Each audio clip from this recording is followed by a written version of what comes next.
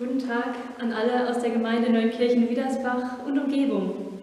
Herzlich willkommen zur kleinen Online-Andacht über einige Verse aus dem Jesaja-Buch, Kapitel 66. Wir feiern diese Andacht gemeinsam im Namen Gottes des Vaters, der uns geschaffen hat, dem Namen Gottes des Sohnes, der für uns am Kreuz gestorben ist, und im Namen Gottes des Heiligen Geistes, der in uns als gute Kraft wirkt. Freut euch, ruft Jesaja, mitten in der Sorge, mitten in der Krise, mitten in der Fastenzeit. Habt ihr gerade Grund, euch zu freuen? Zum Beispiel, weil ihr Zeit für einen Menschen habt, der euch wichtig ist. Oder weil jemand an euren Geburtstag gedacht hat. Bestimmt kennt jeder von euch solche schönen Momente, aber auch Momente, in denen das Leben alles andere als ein Zuckerschrecken ist. Mit ganz vielen Sorgen, wie die nächste Zeit wohl weitergeht. So jedenfalls geht es den Israeliten, als Jesaja zu ihnen spricht. Sie sind noch nicht lange aus dem Exil zurück nach Hause gekommen und sie merken, so einfach ist der Neustart nicht. Ihr Leben steht Kopf. Sie haben ihren Platz zu Hause noch nicht wieder gefunden stehen vor einer unsicheren Zukunft. Freut euch, ruft da Jesaja, der Mann, der immer wieder eine Botschaft von Gott weitersagt. In dem Abschnitt in Jesaja 66 benutzt er dafür ein ziemlich ungewöhnliches Bild. Er vergleicht Gott mit einer guten Mutter, weil Gott sich für die Menschen interessiert, wie eine Mutter ihr weinendes Kind auf den Schoß nimmt nimmt Gott auch die Israeliten auf den Schoß, in den Arm, um sie zu trösten. Wie eine Mutter ihr Kind gegen alles Schlechte verteidigt, so verteidigt Gott die Israeliten, seine Menschen, euch, gegen alles, was ihnen schaden will, manchmal auch mit harten Bandagen.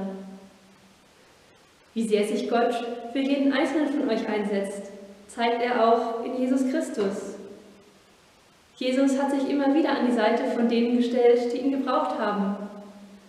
Und er ist am Kreuz gestorben, damit ihr leben könnt. So schrecklich wie dieser Tod auch war, du kannst dich freuen, weil Gott dich liebt, weil er alles für dich tut, weil du ihm so wichtig bist. Soweit von Gottes Seite. Die Sache mit dem Trost ist aber auch manchmal etwas schwierig, denn trösten geht nur, wenn der andere auch vertraut. Sonst werden aus den guten Worten nur gut gemeinte Worte. Sonst wird aus dem Trost vertrösten. Die Frage heute ist also, haben die Israeliten Gott vertraut? Haben sie darauf vertraut, dass er ihre Zukunft verändern, verbessern kann? Haben sie daran geglaubt, dass Gott es wirklich ernst meint? Die Frage gilt heute genauso. Dir, euch. Glaubst du daran, dass Gott bei dir ist, dass er alles für dich tut, dass er dich trösten kann? Glaubt ihr, dass Gott alles neu machen kann? Von Gottes Seite aus, jedenfalls ist die Sache klar. Er meint es ernst. Er ist da, wenn ihr euch freut. Er ist da, wenn ihr ihn braucht und tröstet euch. Da bin ich mir sicher. Amen. Gott, du Trost der ganzen Welt, wir kommen zu dir mit unseren Fragen und Sorgen, mit unseren Ängsten und Zweifeln. Wir bitten dich, schenke uns deinen Trost, dass wir fröhlich und zuversichtlich unseren Weg gehen.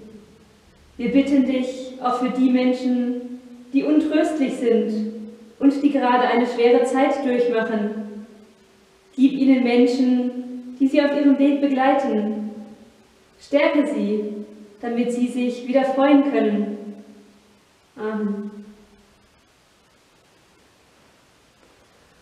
Und so segne und behüte uns der liebende Gott, der Vater, der Sohn und der Heilige Geist. Amen.